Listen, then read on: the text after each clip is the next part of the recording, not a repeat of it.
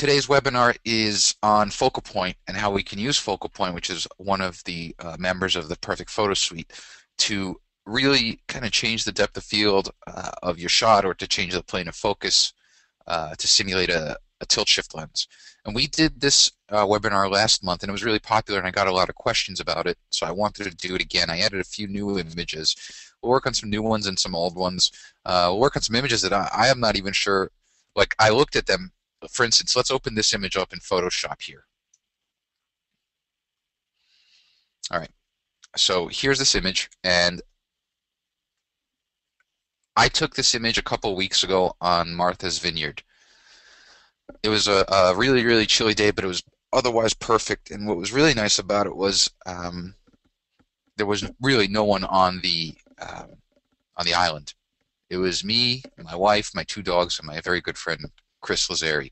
And we spent the entire day here, and it was more or less, uh, it was an opportunity for me to test out a new uh, neutral density filter that I just uh, had gotten the day before. So this is a shot of the Gay Head uh, Lighthouse. It's literally, I think, at the end of Martha's Vineyard. Um, and normally this would probably be crowded with people, and I think there are tours that go through here, but uh, this was just around as the sun was setting. You could start to see a little bit of that golden hour light so what we can first do, if you want, let's first just stylize it just for a minute. We won't do much because I know this is a FocalPoint centric webinar. I'm going to just uh, get rid of uh, that little dust spot over there. A little dust spot over here. This is where you start to see my neurosis because I start seeing things and I start removing spots that might not even be there. Um, but the reason why I want to use FocalPoint is I really want to focus on the lighthouse and these uh, the background here, this the kind of shrubbery and the the uh, power lines and the power wires, that just bums me out. So the first thing I'm going to do here is let's um, let's toggle our onOne palette and go into Photo Tools. And I'm not going to do much to it. I might just add um, a little bit of a golden hour enhancer to bring out the warmth in the brick. So I'm, that's probably all I'll actually do. Let's just go to Stylized Effects, go to Golden hour Enhancer, and add that to the stack. Okay, and so that does a really nice job. I'm just going to probably keep it uh, on the whole image. I'm not even going to mask it out of the sky because I like what it does here. And the other thing that I might do is go to the lighting effects or, and then go to the dynamic light bug and use a lighten planar because I want to lighten the foreground. So what I can do is when it comes up, you've got this masking bug here. And uh, I'm just going to rotate it horizontally, make it kind of narrow, and bring it onto the foreground here. Now, now that it's on the foreground, what I can do is control the strength of it. So if I just want to boost it up, make it a little bit brighter, and then I'm going to use the masking brush to paint it off of the um, the lighthouse. I don't want the lighthouse to have that light. I just want the grass to have the light, which is kind of cool that you can control exactly where an effect is applied, even though you use the bug. And so what I can do is show my mask, just make sure that I kind of paint out the body of the lighthouse. Because the, the bug here, you can see the transition. So now we have the lighthouse lit normally. We can hit apply, render the changes. Okay. So that's the um, that's all I really would do with Photo Tools here. I wouldn't do much more uh, because it's a pretty image. Now with FocalPoint, we're going to do two different things with FocalPoint. We're going to first show you the standard way of using FocalPoint. So we can go into FocalPoint right now, and I'm going to reset our settings here to show you the, the standard view of FocalPoint. So here is our focus bug. Um, it's anything inside the bug is in focus and anything outside of the bug is out of focus and you can control the position, the size, the shape, and the orientation of the bug by tugging at these legs. The legs are the um, lines with the uh, solid circles at the end of them. The lines with the hollow circles are antennas, and the antennas control sliders, but I prefer controlling the sliders uh, you know, at the slider view and not via the antennas. Now, now, we can change the shape of the bug from round to planar by going to the shape uh, area here. And then what I'm going to do is the exact same thing that I did with um, that lighten masking uh, masking bug in Photo Tools. I'm going to make it horizontal and narrow and put the plane of focus at the foreground. So if you think about it, guys and girls, the plane of focus is the this uh, strip of land that the lighthouse is sitting on. That's my plane of focus. Everything behind it and everything in front of it should be rendered out of focus. Now, and I see there's a uh, John made a point. There's a lot of circular banding in the sky.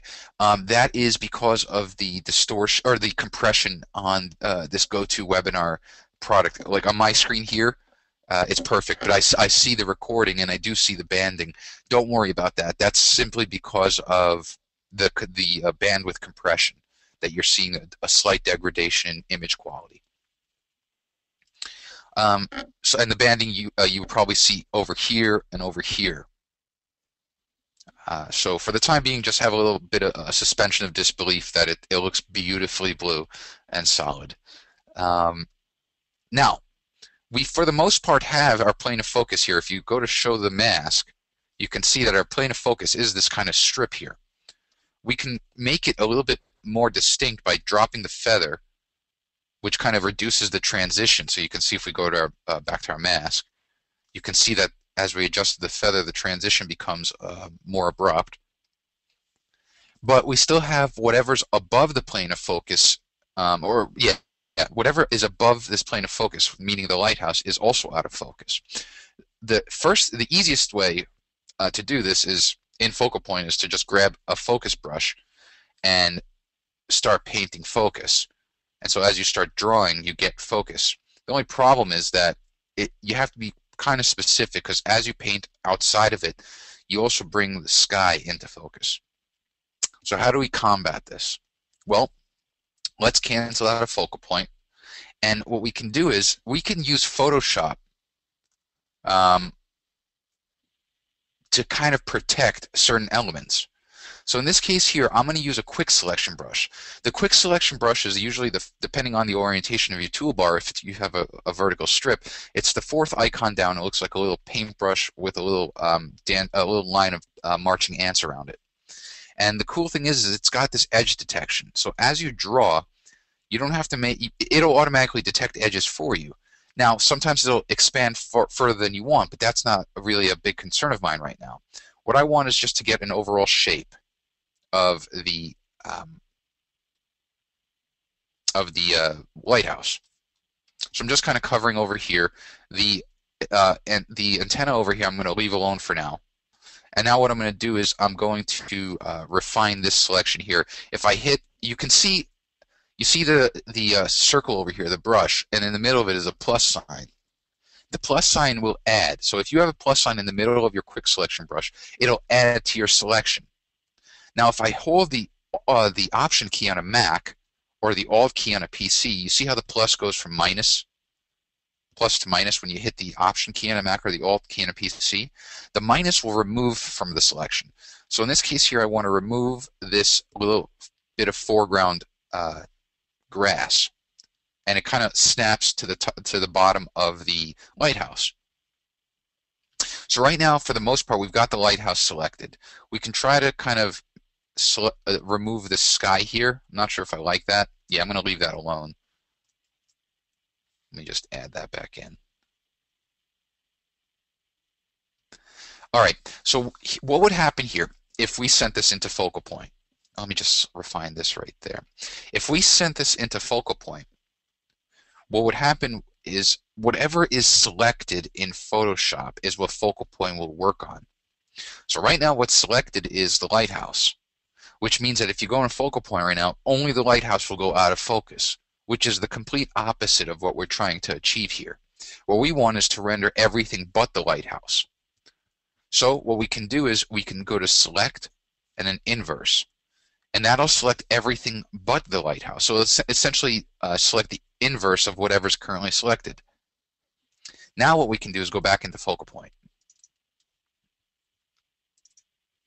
And because we have everything but the lighthouse selected, only the, the uh, that will be affected. So you can see here the lighthouse is perfectly in focus.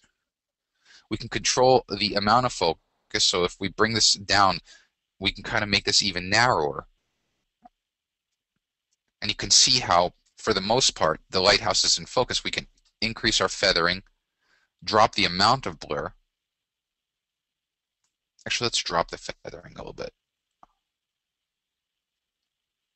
Because what I want is just the foreground to be in focus. I want the same plane as the lighthouse. And so you can adjust your focus bug to get the plane correct. Now there are certain things that we want to kind of bring back in focus. We totally lost the um, antenna. So what we can do is we can, if we drop the opacity of our focus brush, um, actually no, if we drop the amount rather, we can start to see the antenna over here as it's starting to appear.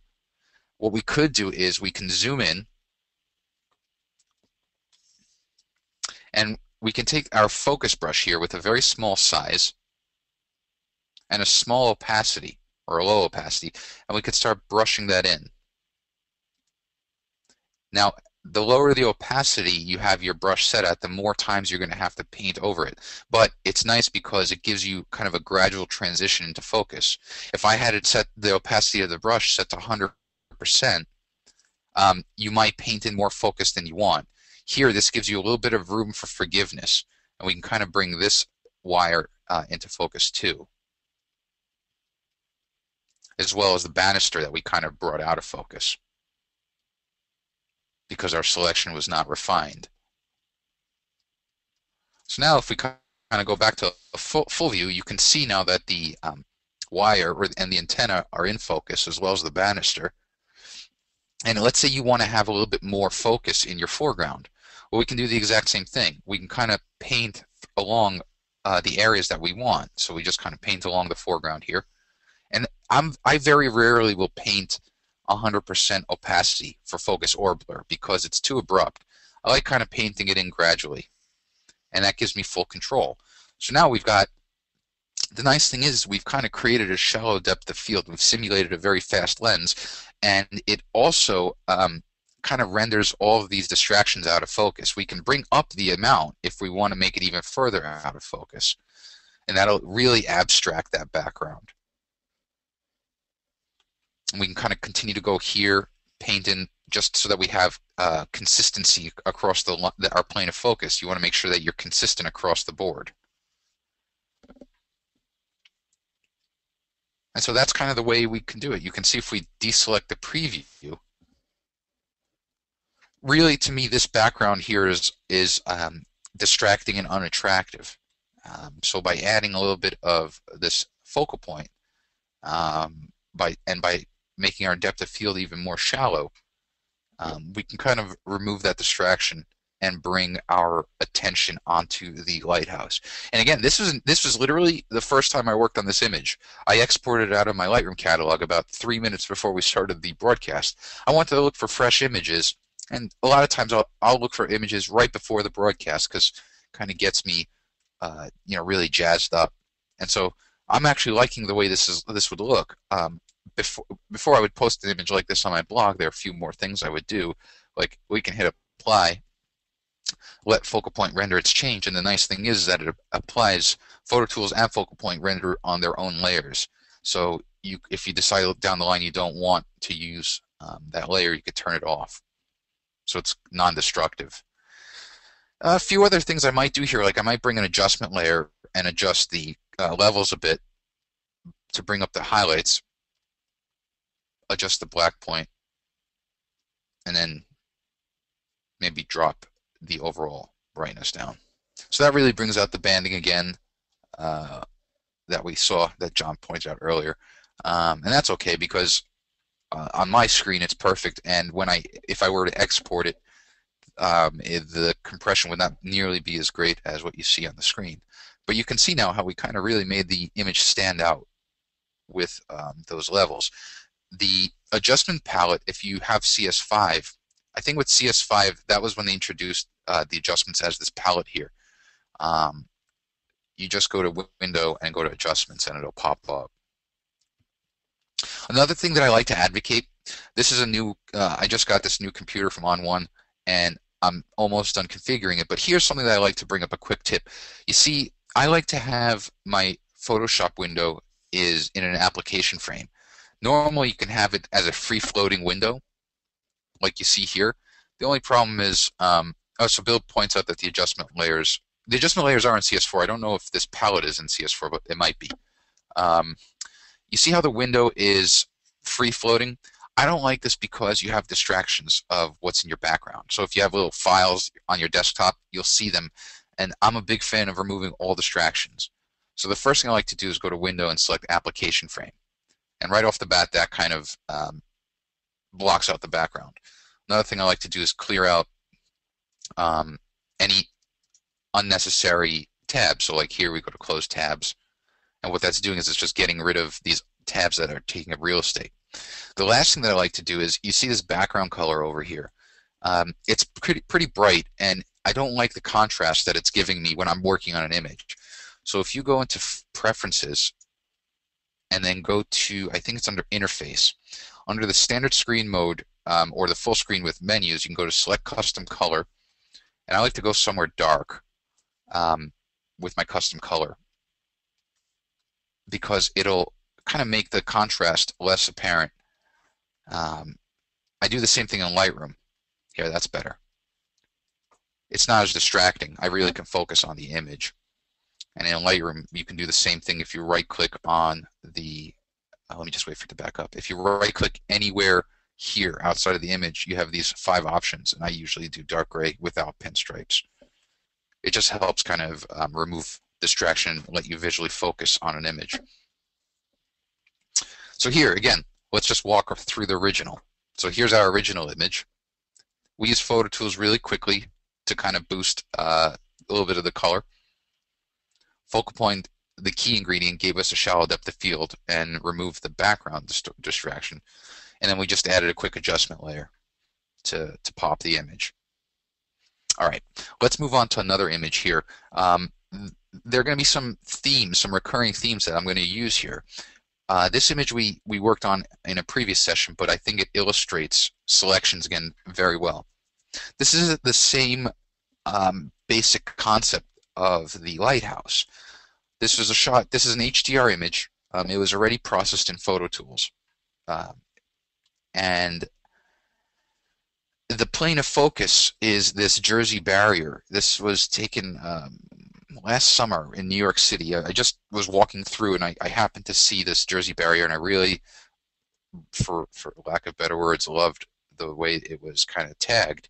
I thought it was kind of creative in a way, and I, I, I don't think that I would have stopped to shoot this if someone didn't already kind of um, tag it up, vandalize it. We don't condone vandalism on the ON1 webinars, but still um, it's I think it's a, a, really cool shot. Now, the original point was that the background itself causes the Jersey barrier to get lost overall. It just gets lost. So what can we do about this? Um, well, we can use FocalPoint. Again, with FocalPoint, there are two ways to use it. We can go in straight away. Just go to FocalPoint and if you're new to FocalPoint one of the things I recommend doing is this. Go to the edit menu in FocalPoint and go to reset all. And what that does is it resets your settings to default. And this is important because um, it gives you a standard baseline.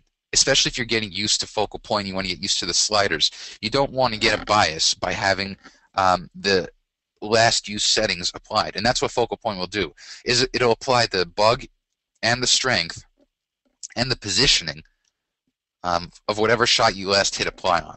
So that lighthouse shot, for example. So for this purpose, we're going to change our shape again from round to planar. Now round is more, if you want to simulate a Lensbaby look, where you have um, a selective uh, focus area, like a small portion. So if we go here to back to round, we kind of put the point of focus to this little hole here and we change our version. This is also kind of important. A lot of times I like when I'm working with a round bug, I want to change the version from version 2 to version 1. And that changes the overall char characteristic of the blur. So here what we can do is bring up the amount and you can see how what it does is it gives it a Lensbaby look. The Lensbaby uh, look apply, it almost looks like there's a radial or motion blur uh, applied to the image except for the sweet spot. So in essence, this is your sweet spot. And you can put it really wherever you want. You can bring up the amount, and then you've got this motion slider. And so the uh, higher you bring it, the more of this motion effect uh, will be applied. And so you just kind of adjust it to taste. But we're not working with this here. Let's reset our settings here. We're going to work with a planar bug. And again, we're just going to adjust the orientation and the width of the bug and put it on our plane. You have to think about this in terms of planes of focus. Your planes of focus are typically a foreground, a middle ground, and a background. Now, the plane of focus is not the object itself, but rather the surface that the object is sitting on. So the surface that the object is sitting on is this plane right here. This is the plane of focus. And everything above it that's kind of perpendicular to that plane should be in focus as well. So in this case here, this does not make sense visually. Visually, you've got this portion of your plane in focus, but whatever's on above it on the same plane is out of focus. So I hope that makes sense. What you need to do is restore focus. And so again, you could paint focus here and just kind of get that focus included, but you run the risk of painting outside of the lines, and then you start getting this ugly transition that we don't want. So if we cancel out, the first lesson is understanding planes of focus. So here, if we just take a, a brush and crudely draw what I would consider to be the plane of focus, it would be kind of this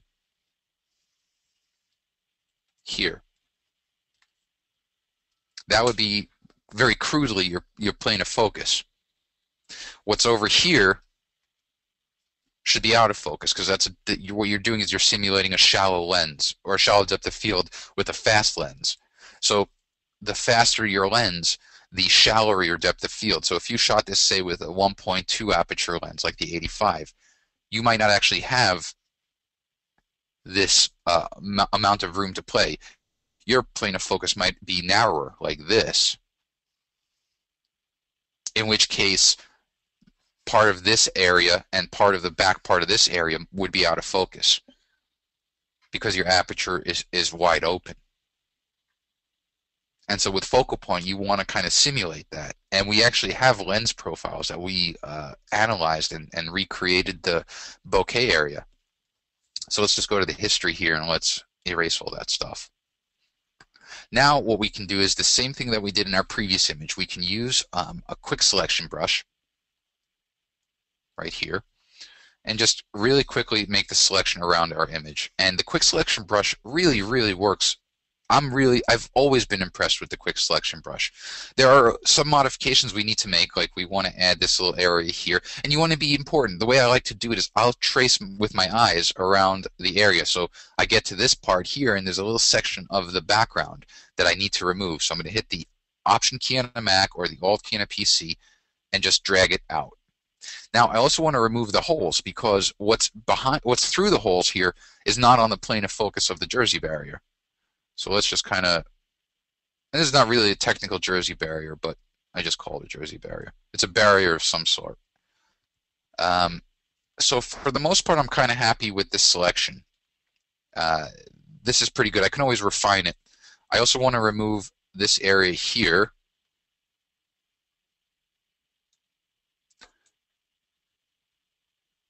Just because I want to be consistent and I think I'm pretty good. Everything that should be in, uh, selected is, in, is selected. Now, again, the key. The key is right now, the, the only thing that's selected is the Jersey barrier. This is a concept that is important for you to get. Whatever is selected is what FocalPoint will work on. We do not want FocalPoint to work on the Jersey barrier. In fact, we want FocalPoint to work on everything except for the Jersey barrier. So we'll go to select and then select the inverse option. Now the background um, and everything but the Jersey barrier uh, is in play. So if we go into FocalPoint and we just reset, I want to reset the bug again.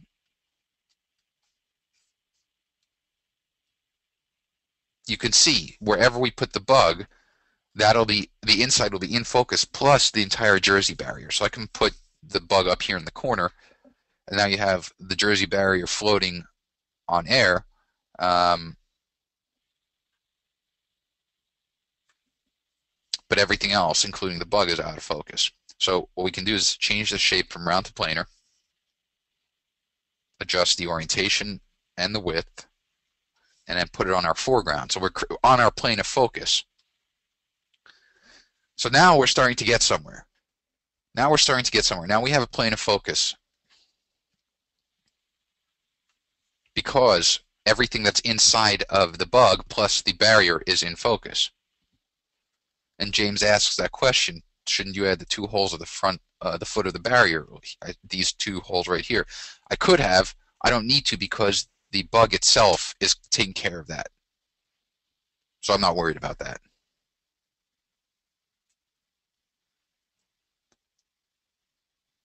Howard asks a good question. Can you get the same effect with the lens simulations you developed? Yes. So over here under the version, there's a, a field called lens. And if you drop down, you've got these lenses that we actually simulated. What these will do is, let's say I shot this with around a wider lens, like let's say a 50 millimeter at 1.2.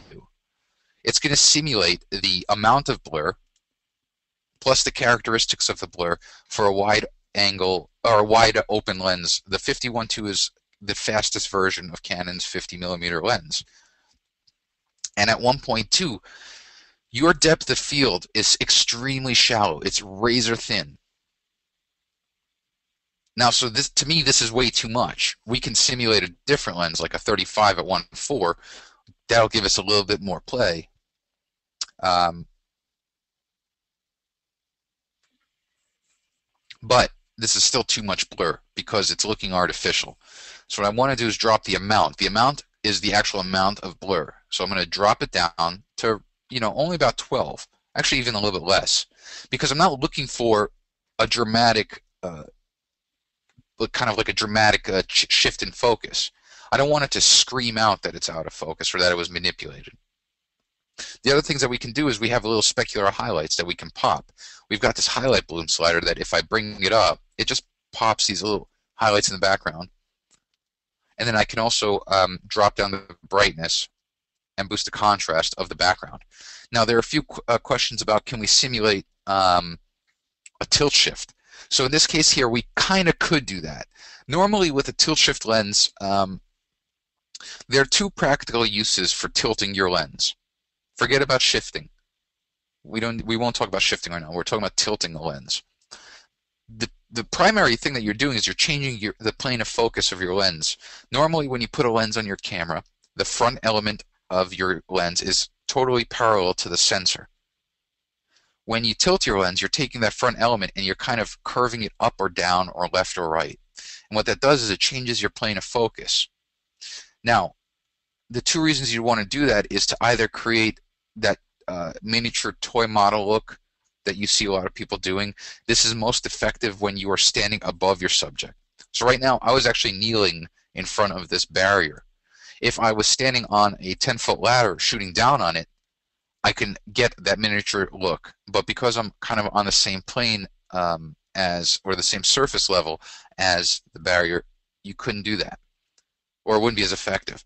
The other practical use of a tilt shift lens is to extend your depth of field. Um, and I don't want to, basically what I can do with a tilt shift lens is I can get my uh, depth of field to be in focus, like perfectly in focus through infinity, um, beyond the uh, capacity of the lens if it was perfectly uh, perpendicular or per perfectly uh, parallel. So still, what we could do is simulate a tilt shift look. And the way we can do that is if you put your cursor in the body of the bug, so the bug's body is this center area. If it was a round bug, the, the body would be circular. But on a planar bug, is it's square. And if you put the cursor in the body of the bug, and you press and hold the Option key on a Mac or the Alt key on a PC, and then you drag up and down, or up or down, you can see how the directionality of the masking bug changes. And so what that does is it, it, changes the characteristic of the out of focus area, and that's what you would do to simulate um, uh, tilt shift or that miniature look.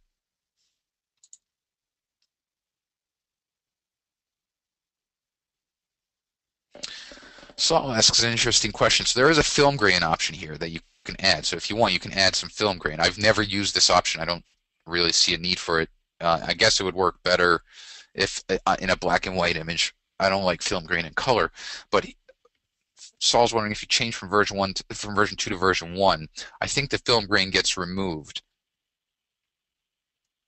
No, it's still there, so you can use um, the film grain in version one. What it does is it primarily changes the characteristics of how the out of focus area is rendered. So I'm just going to turn that off. Now again, you can see that we can, if we want to increase the out of focus area, we just bring the uh, amount up a little bit.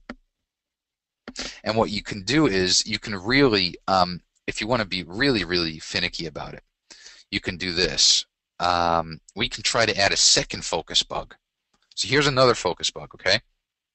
Here's our first one. Here's our second one. We can change it from round to planar. Again, put it on our middle ground. Remember how I said there are typically three planes of focus, your foreground, your middle ground, your background. We can add a transition from in focus to out of focus. So what we'll do here is we'll the opacity is 100%. And what we can kind of do is drop the opacity of that bug so that we have a nice gradual transition for our our um, middle ground area.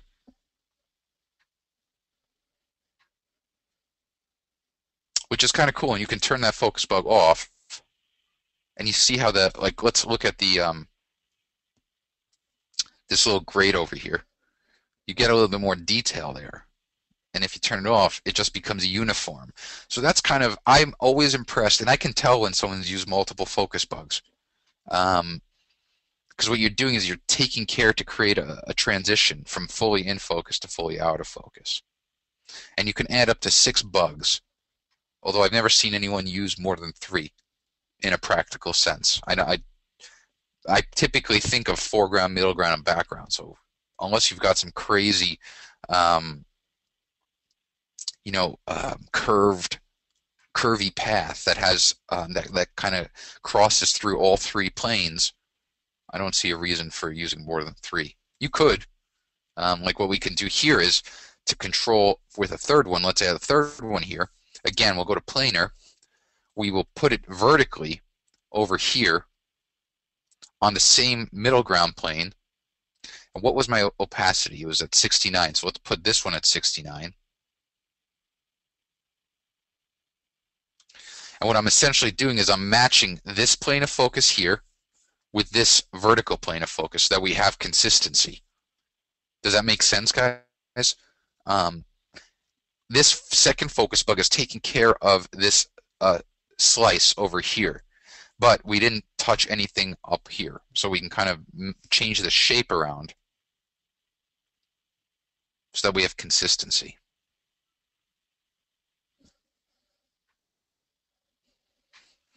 Let me just see if there are any questions.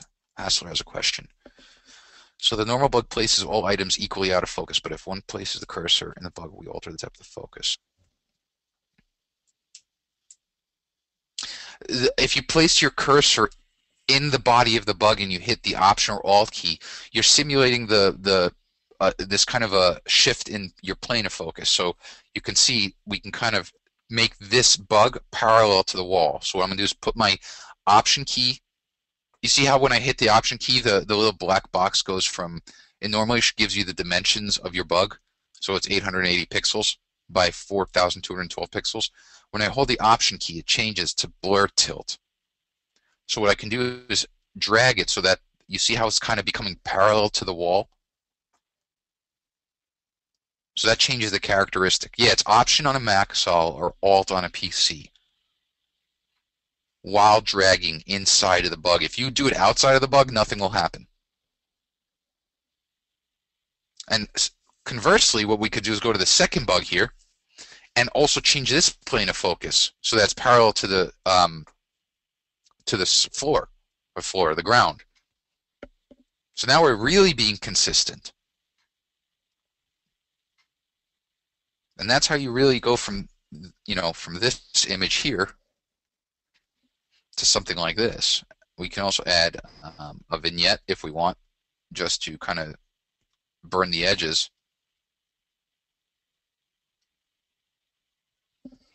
I'm not a fan of it. I don't want it. Reset the vignette. And there you go. How do you add the vignette? Just um, on, if you scroll down under the vignette palette, there's uh, there's a lightness which controls the strength of the vignette, and then the the midpoint controls just how close to the center it is. And if you want to get rid of it altogether, just hit the reset button, and it brings everything back to zero. So we can hit apply.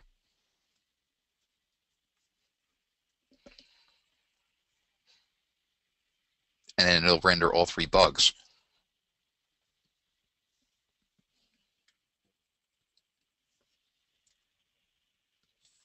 Here's another quick tip. All right, we spent all this time making this selection. See over here we have this selection. Um, let's say you want to kind of come back, you're not exactly sure. Let's say, let's for whatever reason, some client is, is commissioning you to uh, work on this image. And you present it to them and they say, you know what? Um, I don't like how dark you made the background and I don't want as much of the background out of focus. There, so you come back. Now, you're going to have to go and make the go spend the time making this selection or in Photoshop, you can actually save this selection as a channel.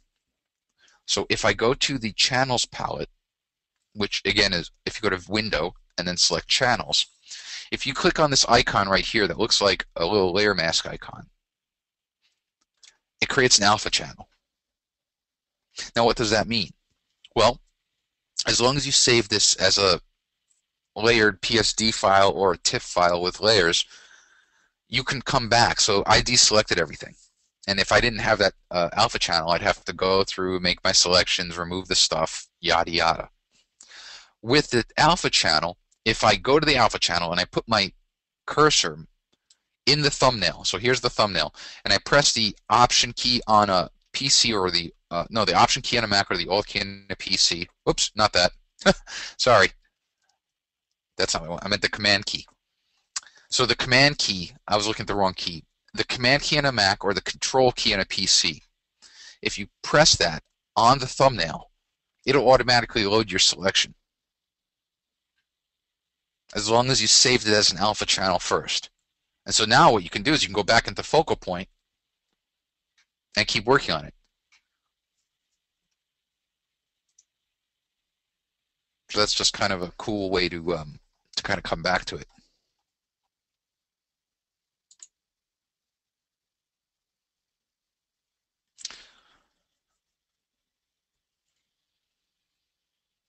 David brings up a point. Can you just invert the selection back and save the barrier um, on a layer? You could. You absolutely could. Um, but it's all a matter of the reason why I kind of said you'd want to load the selection is because I would want to change in FocalPoint the brightness and the contrast of the background in addition to the amount. And by just starting on a fresh layer with the same selection that I worked on originally, I, I can maintain consistency. But your option is totally viable as well.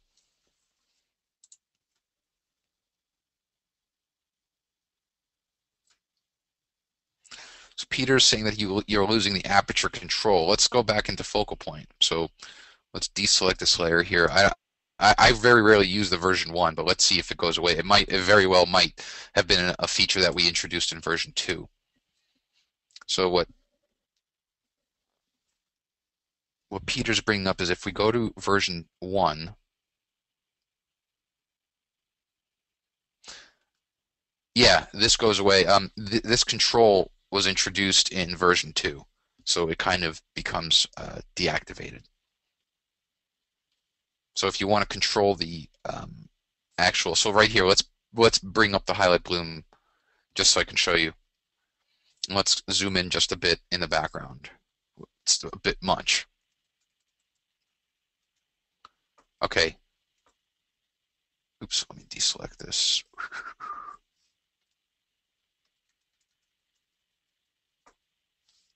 Let me just cancel and go back in. I'll show you how you can use the aperture controls to control the actual shape of things like specular highlights. It's pretty cool. So if we zoom in a bit, and let's go up here. So these are our specular highlights. I brought the highlight bloom up really high so you can see them.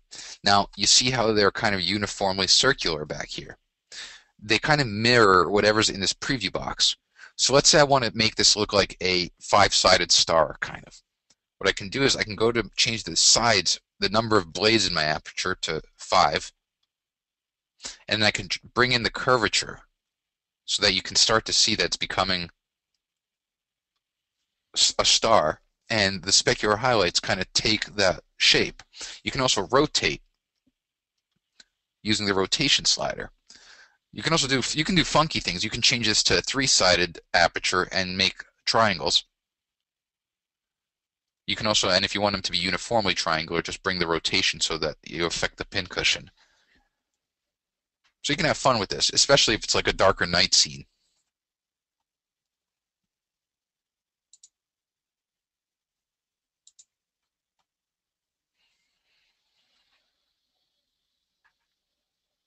So there you go.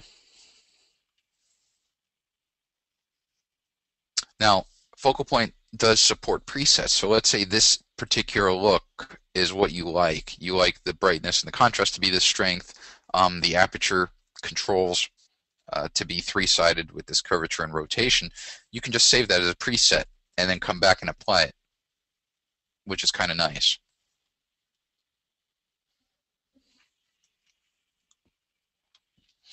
All right, let's work on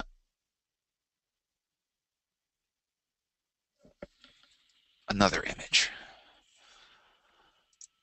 Uh, uh, let's hide this. Let's see what we got. I don't want that image. We can, let's, let's do this. This is going to be a little self-serving because I actually want to, this, I haven't worked, the only thing I did to this image was converted it to black and white. Um, I used a, a, a really dense neutral density filter to um, to kind of uh, see through the moving water. It still has a lot of dust that I have to clean up, but I could do that later.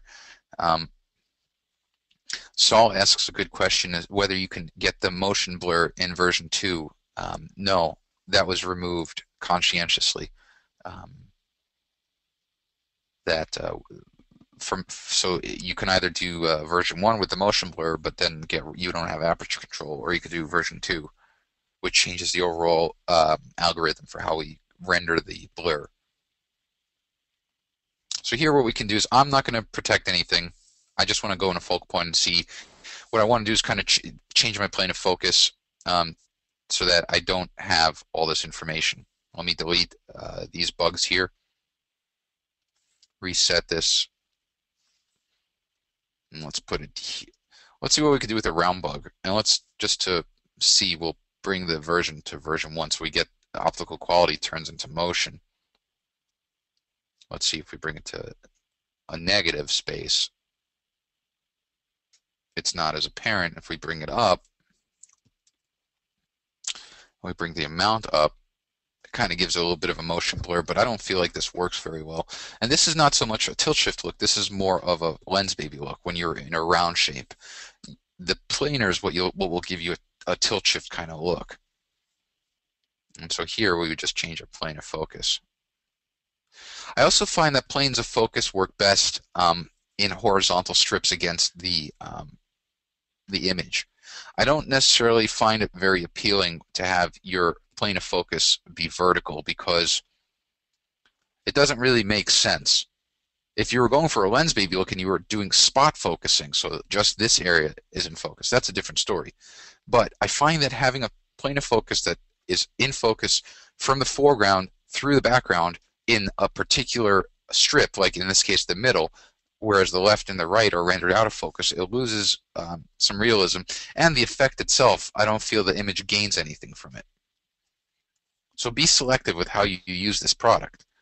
In this case here, I'm just going to keep the foreground in focus. I don't like this mo the motion look that it's giving me, so I'm going to go back to version 2. And I'm going to adjust the feathering.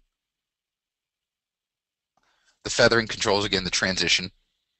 From in, So watch, if we go to the, uh, if we show the mask, when we, so right now I'm at 20 feather. If I go to 0, you get a hard edge.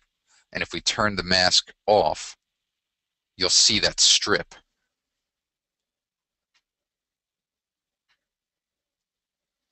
However, if we increase, so let's bring it back to 20, it kind of creates a, more of a gradual transition. And if you bring it to 100, there's almost a complete transition. So I don't necessarily care for that. We could, let's just go to 20 here. And now what I might do is just uh, drop the amount a little bit to restore some detail. You can boost the optical quality.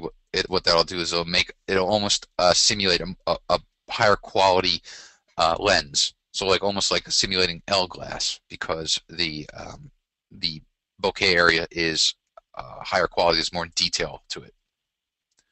And then I'll also kind of just refine this. So with the the focus brush selected, I'm just going to paint just along the bottom here, just to make sure that I get a little bit more of that uh, the rock in focus. And I'll also paint this rock here in focus. I might just paint the whole foreground in focus because it doesn't look natural to have this area out of focus um, for the look that I'm trying to go for. You don't need to paint it in, a, that's the other thing, you don't need to paint in 100% opacity. I kind of brought that up earlier. You have right over here a brush opacity. So the first opacity slider you have is at the top, and that's the overall opacity of the bug. But then when you're painting focus or blur, you can control the gra how gradual that's uh, implemented by using this brush opacity.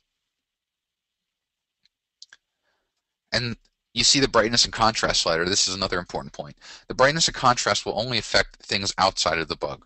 So this area here will not be uh, touched. So as I drop the brightness, see how it's only affecting the background? And what that does is the reason why that happens is it, by darkening everything outside of um, what's in focus, you draw attention to what's in focus. So a lot of times I will drop brightness a bit and I'll boost contrast. And right now the eye goes straight here over here, you you know, your, your the eye goes back and forth, and it could be good if there was something to lead the you know a reason to lead the eye through the frame. But the way I align my camera, I could have cloned this out, but I kind I didn't want to. I wanted to leave something there, and I think by rendering it out of focus, it adds a little bit more mystery to it. Like, what is that thing over there? When you have it fully in focus, you can see that it's just a little uh, rock But when you put it out of focus, it, it could be, uh, you know, an alligator. It could be anything. I don't think there are any alligators in Martha's Vineyard. I could be wrong. Um, um, so Hassler's asking, all right, do we tilt the, the plane of focus to be parallel to the surface? You could, absolutely. In this case here, you could because I, my camera was above the rock. So we could just put the cursor in here, press the Option or Alt key, and drag upward. And so that it's not as apparent here because um, we're not as high up. Let's recreate. I'll go to a different, let's cancel out here, and I'll go to a different webinar that we did um, two months ago where I, it, the, the whole webinar was comparing a tilt shift lens to FocalPoint. So it's under, which webinar is it? To tilt or not to tilt, images. Which image was it? it was, was it this one? Nope. I'll find it in a second. It was this one. All right, so let's open all three of these images in Photoshop.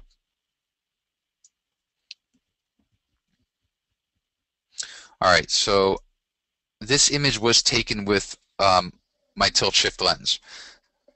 This is in uh, Boston Common or this is technically the this, this is the garden. This is the Boston Garden, and I was on this bridge, this walkway, a very very popular walkway, and this was taken uh, just a few months ago during the winter when the obviously the water was frozen over and people were ice skating on it.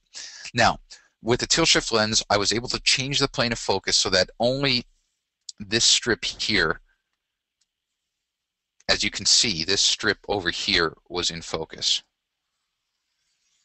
And what that does is it um, it gives the people um, a toy model look, like they're little figurines. What I did then was I took another shot with the exact same lens. This was with, um, I think, either my 24 or my 17 tilt shift, but I did not tilt the lens. So this is the this is this uh, the exact image you would basically get if you shot. Let's assume this was a 17 millimeter lens.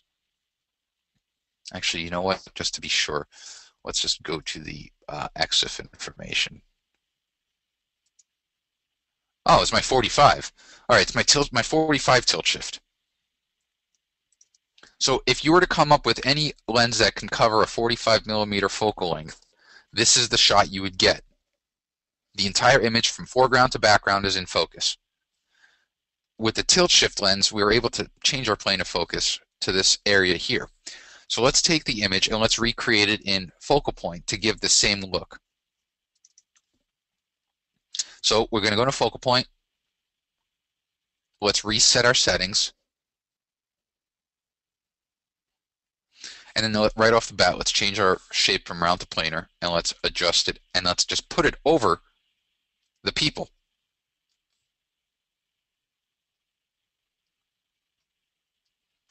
We'll adjust our feathering so that the transition is a little bit um, less gradual. We'll drop the amount so it's not as dramatic. And then let's change the uh, plane so that we put our cursor here, press the Alt or Option key, change the plane of focus, spread that out a bit so that we get just this area um, in focus here. Drop the brightness a bit, boost the contrast. And then what we might do is take our focus brush and just make sure that we have focus on this strip over here. You can see how they're popping off. And so all I'm going to do is just drag kind of straight across.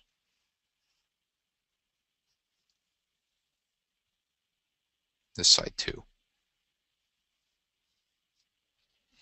Now, can you see how they're really looking like figurines? I mean, it, it, you can see, but if we show the mask, this is our mask. So what the darker areas are totally in focus, and the, the white areas are totally out of focus, and the gray is a transition.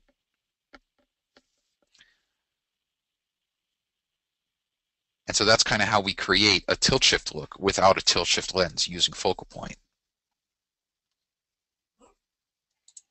Um,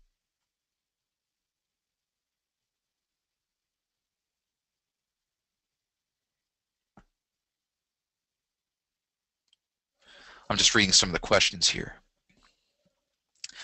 Saul, I don't have a Lensbaby. I have a Lensbaby Composer. I own one. I just don't have any images to compare it to. I have three tilt shift lenses, and that we were able to compare to. So I apologize for that. Can you use?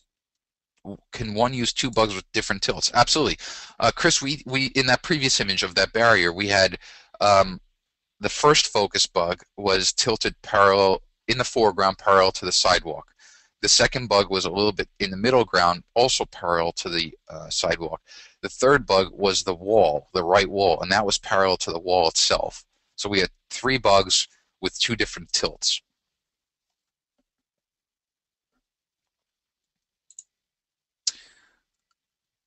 Okay, so I see what Saul's asking about. Um, with portraiture. Yes, we can do that. So Saul wants to know if we can simulate um, like in, in a portrait, instead of so far we've pretty much been using planar bugs, and we're we're approaching the end of the hour. I have no problem going over the hour. If you guys want to stick around with me, I'm not going to end it like we're in therapy, um, and your hour's over. If you're willing to stick around, um, I'm good to go. So let's let's do this. Um, it was in a different webinar. I want to say it was our portrait webinar. Let's go to portraits. Uh, let's find one that works well.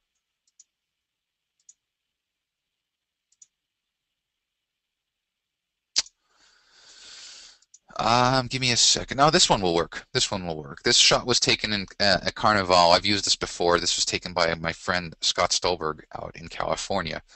Um, let's go into FocalPoint here.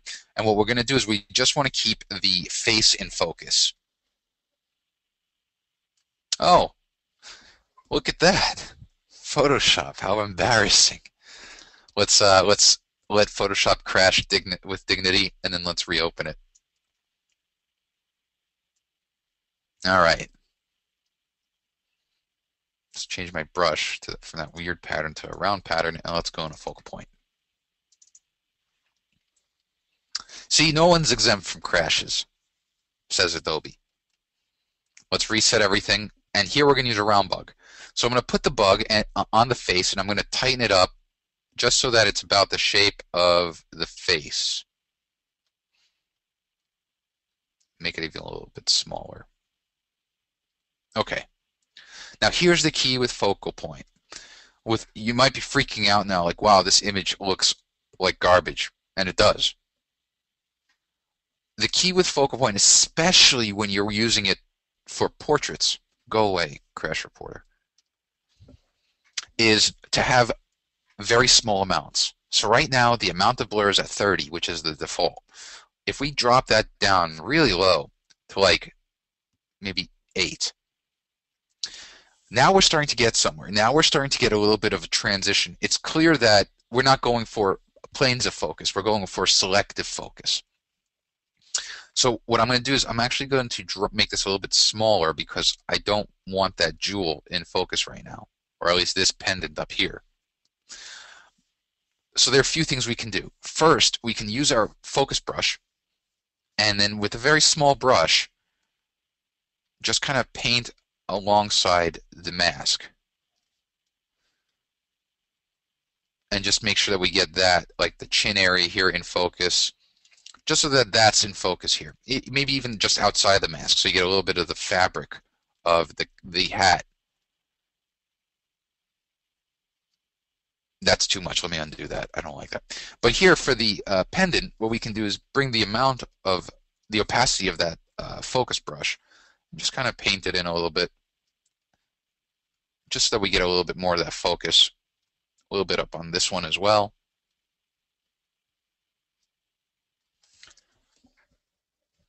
Maybe a bit more. But that's how we're able to kind of get this um, selective focus just on the face. We can use the highlight bloom slider because this person has these little specular highlights.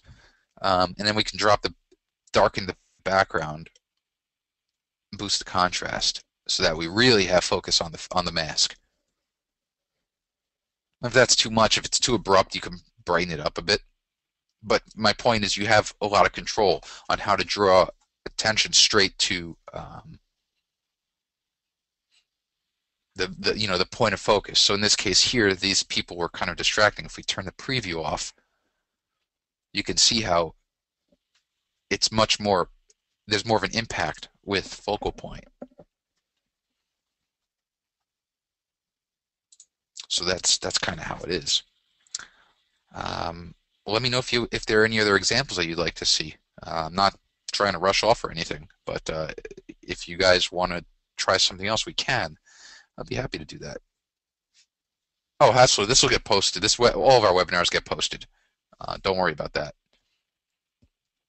I just uh, two the webinars from Monday and Tuesday of this week I just uploaded to our servers. Now I just need to get them posted onto our website and in iTunes and YouTube. All right, let's see. Maybe there's one more we can work on. Uh, let's do this one. We'll do the wedding one. The wedding one is like this is this one always gets oohs and ahs. You might have seen it already because we a lot of times we'll do it in our uh, now that's weird. Why didn't my... Oh, Photoshop crashed. That's right. So Photoshop crashed. I'll fix it later, but the background would have been darker and it didn't retain the settings.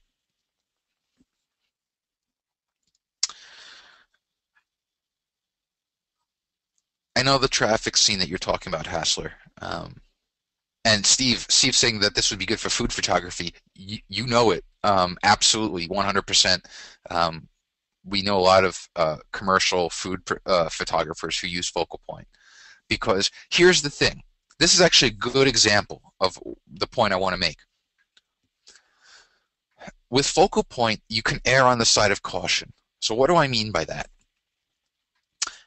I can shoot this image here of this bride and groom and this shot was taken by Fred Marcus Studios actually in New York City. I could shoot it with a smaller aperture, which will give me everything in focus. Now, whether or not I want everything in focus or whether or not I need everything in focus, I don't want to make necessarily that judgment call. The key is I don't have to worry that I missed my focus. So a lot of times people buy their 50 millimeter, their 85 millimeter, 1.2, 1.4 aperture lenses, lenses that are extremely fast and lenses that give you razor sharp and razor narrow depth of fields.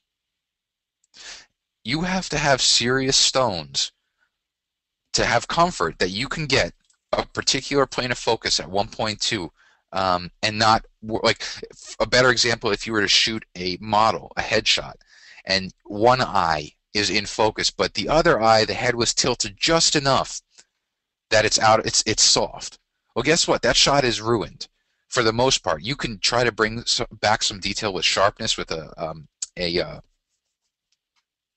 what was that filter called the um, under sharpen.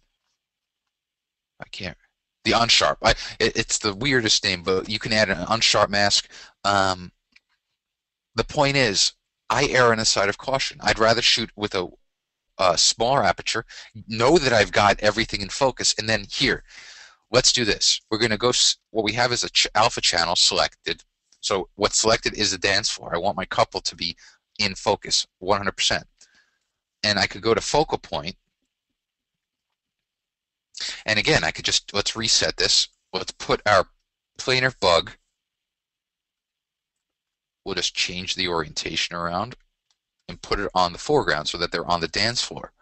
So right off the bat, now I can simulate some stuff. I can simulate a lens, like I go, I can go to the 35 millimeter 1.4. I can boost the highlight bloom of the background. I can drop brightness and contrast boost the highlight bloom some more to bring it back. And then I can actually add a vignette.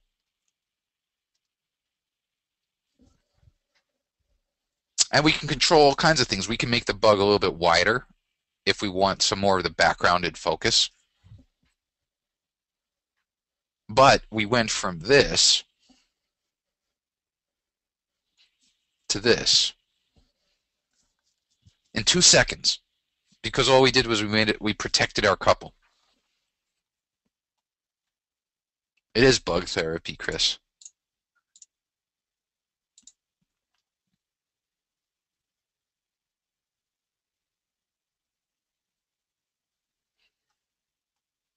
How did you select the subject? Um, just like this. We'll cancel out a FocalPoint. I used a quick select brush and just kind of drew on the subject. And then I would refine it. Now, earlier in the webinar, I, I showed how you can save a selection as an alpha channel just by going to your channels palette and clicking on this little icon here that uh, looks like a circle inside of a square. To load it, just put your cursor in the thumbnail of the alpha channel, press the command or control key, and it loads that selection. So I'll do that a lot when I'm demoing images because it's you know, it takes time to make a good selection, especially with this image.